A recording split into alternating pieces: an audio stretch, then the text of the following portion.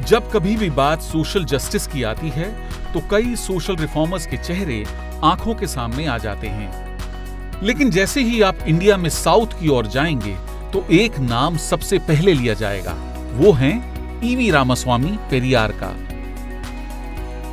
जिनको father of the Dravidian movement माना जाता है। पेरियार ने वहाँ सेल्फ रिस्पेक्ट मूवमेंट और ड्रेविडार कजगम की शुरुआत तो की ही साथ ही कास्ट सिस्टम और वुमेन्स ऑपरेशन पर भी काम किया। आज उनकी 141वीं बर्थ एनिवर्सरी है और ट्विटर पर पेरियार छाए हुए हैं। किसी ने उन्हें मैन ऑफ़ ह्यूमैनिटी कहा तो किसी ने hero of the social justice.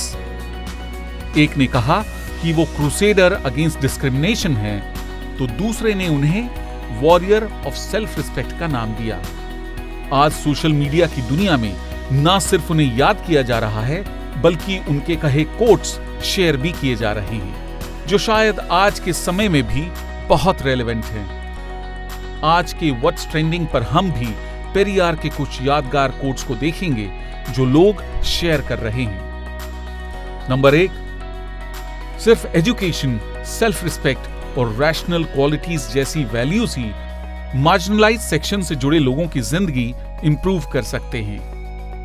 Number two जो तुम्हें नहीं चाहिए उसे दूर करना और जो ज़रूरी है उसे अपनाना ही रिफॉर्म है। समझदारी सोचने में है और सोचने का बेसिस रैशनलिज्म ही हो सकता है।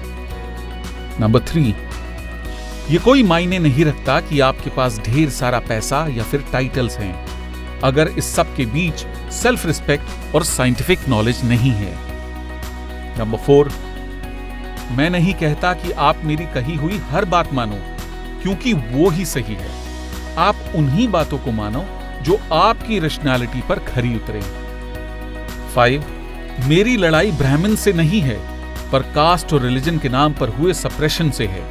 अगर ड्रेविडेंस ने ब्राह्मण्स को सप्रेस किया होता तो मैं उनके लिए भी ज़रूर लड़ता।